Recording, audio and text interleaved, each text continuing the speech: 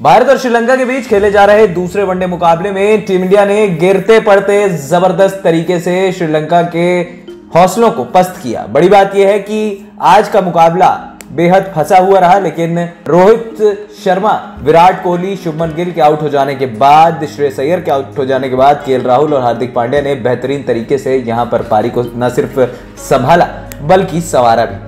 Match का पूरा ब्यौरा बता दें कि श्रीलंका के कप्तान दसुन शनका ने टॉस जीता और टॉस जीत कर किया। यहाँ पर पहले बैटिंग का फैसला। उनका साफ़ कहना था कि हम पहले बल्लेबाजी करना चाहते हैं, पिच पर रन लगाएँगे बोर्ड पर और उसके बाद आगे की देखेंगे कि रणनीति किस तरीके से तैयार करनी है। भारतीय टीम की तरफ़ से पहला झटका दिया श्रीलंका को मोहम्मद सिराज ने, जब अविष्का फर्नांडो को उन्होंने सीधा बोल्ड मारा, सत्रह गेंदों में बीस रन अविष्का ने बनाए। वहीं दूसरी तरफ़, भारतीय टीम की तरफ़ से दूसरा जो झटका दिया, वो कुशल मेंडिस के रूप में लगा। कुशल मेंडिस और फर्नांडो के बीच एक अच्छी साझेदारी हुई, लेकिन उस साझेदारी को सत्रहवें ओवर में तोड़ा कुलदीप यादव ने, सीधा एलबीडब्ल्यू आउट किया। इसके बाद नुआनिदू फर्नांडो, जो की अच्छा क्रिकेट खेल रहे थे, तिरसठ गेंदों में पचास रन बनाकर शुभमन गिल ने उन्हें रन आउट किया। धनंजय डिसिल्वा पहली गेंद पर, अक्षर पटेल की गेंद पर सीधा बोल्ड आउट हो गए। चरित श्रीलंका इक्कीस गेंदों में पंद्रह रन बनाकर कुलदीप यादव का शिकार बने। दसुन शनका चार गेंदों में दो रन बनाकर कुलदीप का शिकार बने वनिंदु हसरंगा। सत्रह गेंदों में इक्कीस रन बनाकर उमरान मलिक का शिकार बने। विला गिले को यहाँ पर सिराज ने आउट किया। चौतीस गेंदों में बत्तीस रन उन्होंने बनाया अक्षर पटेल ने उनका बेहतरीन कैच लपका उसके बाद चमिका करुणा रत्ने ने पच्चीस गेंदों में सत्रह रन बनाए। लहरू कुमारा शून्य पर आउट हुए।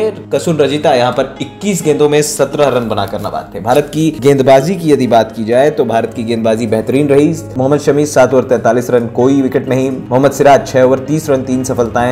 हार्दिक पांड्या पाँच ओवर, छब्बीस रन, कोई सफलता नहीं। उमरान मलिक दस ओवर, अड़तालीस रन, दो विकेटें। कुलदीप यादव दस ओवर, इक्यावन रन, तीन विकेटें। अक्षर पटेल पाँच ओवर, सोलह रन और एक महत्वपूर्ण सफलता, जिसके जवाब में जब भारतीय टीम बल्लेबाजी करने उतरी तो भारत की शुरुआत बेहद शानदार रही। ताबड़तोड़ अंदाज में रोहित और शुभमन गिल ने पारी की शुरुआत की, लेकिन पाँचवें ओवर की आखिरी गेंद पर चमिका करुणा रत्ने ने कुशल मेंडिस के हाथों रोहित शर्मा को कैच आउट कराया। इक्कीस गेंदों में सत्रह रन बनाकर रोहित शर्मा आउट हुए। इसके बाद बारह गेंदों में इक्कीस रन बनाकर लहरू कुमारा की गेंद पर पुल करने के चक्कर में अविष्का फर्नांडो को कैच दे बैठे शुभमन गिल। पाँच चौके उन्होंने अपनी पारी में जड़े। विराट कोहली पिछले मुकाबले के शतक वीर नौ गेंदों में चार रन बनाकर कुमारा का शिकार बने। सीधा इन स्विंगर पर बोल्ड हुए। श्रेयस अय्यर तैंतीस गेंदों में अट्ठाईस रन बनाकर रजिता का शिकार बने, लेकिन इसके बाद केएल राहुल और हार्दिक पांड्या ने पारी को पूरे तरीके से न सिर्फ़ संभाला, बल्कि सवारा भी, जिसकी बदौलत भारत ने शानदार प्रदर्शन किया। अब ये देखना होगा कि अगले मुकाबले में श्रीलंका किस तरीके से वापसी करती है। हालाँकि आपको बता दें कि जिस अंदाज से भारत का एक बार फिर आज कोलैप्स हुआ है, वो वाकई में एक चिंता का सबब है। ये साल वर्ल्ड कप का साल है। कप्तान रोहित शर्मा, कोच राहुल द्रविड़ को अब काफ़ी कुछ सोचने की ज़रूरत है। एक बात तो तय है कि भारत अगर इस तरीके के मुकाबले में फंसेगा, अगर टॉप ऑर्डर कोलैप्स होता है तो फिर क्या एक एक्स्ट्रा बल्लेबाज खिलाना चाहिए? ये एक बड़ा सवाल है। वहीं दूसरी तरफ़ टीम इंडिया की तरफ़ से यहाँ पर हार्दिक पांड्या